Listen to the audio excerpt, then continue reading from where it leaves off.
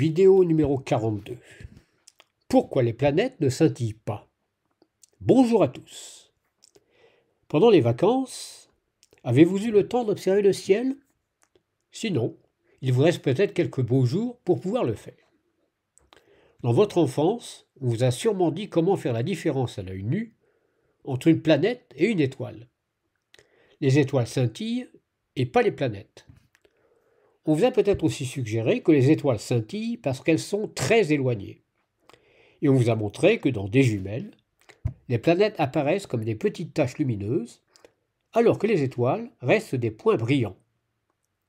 Mais comment se fait-il que, vu à travers de bonnes jumelles, les étoiles ne scintillent plus? C'est un excellent exemple de situation où un phénomène très simple a une explication tout à fait rationnelle mais pas si simple. Non seulement la géométrie, mais aussi l'optique, la dynamique des gaz et même les probabilités sont nécessaires pour comprendre ce qui se passe. Citons Wikipédia. La scintillation des étoiles s'explique par les variations de température et de pression provoquées par les turbulences de l'atmosphère et les différences de densité entre les différentes couches atmosphériques. L'indice de réfraction de l'air n'est donc pas uniforme, et lorsque la lumière franchit les différents milieux qu'elle rencontre, elle subit à chaque fois une déviation infime responsable du scintillement. Dans le cas d'une étoile, la source lumineuse est proche de l'infini, son diamètre apparent est quasi nul, si bien que les étoiles sont comme des points lumineux à l'éclat fragile. Ce n'est pas le cas des planètes, dont on peut observer le disque avec une simple lunette astronomique. En effet, étant donné la très faible ouverture du système optique constitué par notre œil, un très petit nombre de rayons émanant de l'étoile atterrit sur notre cristallin. Et il suffit que l'un d'entre eux soit dévié pour que la luminosité apparente de l'étoile subisse une forte variation. C'est cela le scintillement. Quant à la disparition du scintillement dans les jumelles ou le télescope, Wikipédia donne l'explication. Dans le cas d'une observation à l'œil nu, le diamètre de la pupille dans l'obscurité est d'environ 6 mm. Le recours à un objectif permet de collecter un faisceau plus large de lumière. Dans ce cas, on n'observe pas de scintillation, mais les images deviennent floues. L'image d'une étoile est un peu floue parce que les jumelles ne corrigent que partiellement l'aberration chromatique liées aux différences d'indices de réfraction suivant les couleurs. Donc, la tache lumineuse, qui étant donné la distance devrait être un petit point très lumineux, n'est pas tout à fait ponctuelle. Il est d'ailleurs précisé dans Wikipédia que la scintillation constatée à l'œil nu est plus importante lorsque la longueur d'onde de la lumière est courte, car elle subit une réfraction plus importante. Les étoiles à l'éclat rouge, comme en Tarès, ou Bételgeuse scintillent moins que les étoiles de couleur bleue, comme Sirius.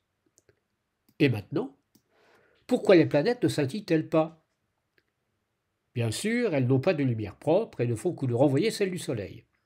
Et elles sont beaucoup plus proches de nous que les étoiles. Mais en réalité, c'est une question de diamètre apparent. Celui des étoiles est infime comparé aux planètes. Citons de nouveau Wikipédia. La lumière d'une étoile pénètre dans la pupille de notre œil et vient à se concentrer en un point sur la rétine au fond de l'œil. En suivant le trajet de la lumière en arrière jusqu'à l'étoile, elle forme un ensemble cylindrique de la taille de la pupille, s'élargissant progressivement à mesure que l'on se rapproche de l'étoile. Mais cet élargissement est si graduel que même à la limite de l'atmosphère, à 100 km d'altitude, l'ensemble reste quasiment aussi étroit que la largeur de la pupille. En revanche, une planète est tellement proche de nous qu'à la limite de l'atmosphère, l'ensemble forme un disque de plus d'un mètre de large, une vingtaine de mètres dans le cas de la planète Jupiter. Dans ce cas, l'œil ne perçoit qu'une moyenne sur un grand nombre de rayons lumineux, de sorte que le degré de perturbation est bien inférieur et que la planète ne scintille pas. Faisons le calcul. Le diamètre de Jupiter est de 140 000 km et il est en moyenne à 800 millions de kilomètres de la Terre. À 100 km du sol, la largeur du faisceau arrivant en un point donné sera donc 140 millions multiplié par 100 divisé par 800 millions, environ 17,5 mètres, et plus de 20 mètres lorsque la Terre et Jupiter sont en conjonction. Par comparaison, le diamètre de Sirius est 2,4 millions de kilomètres, et sa distance de 8,6 années-lumière, soit environ 85 000 milliards de kilomètres. À 100 km du sol, la largeur du faisceau arrivant en un point donné sera donc 2,4 milliards multiplié par 100 divisé par 85 000 milliards en mètres, soit 2,4 divisé par 850 égale 3 mm, moins que la largeur de la pupille. La zone correspondant à l'ensemble des rayons traversant la pupille a donc un diamètre inférieur à 1 cm. Si vous ne connaissiez pas cette explication, j'espère que cette vidéo vous aura plu et vous aura convaincu que parfois, pour expliquer des choses en apparence très simples, un véritable faisceau de connaissances scientifiques est indispensable.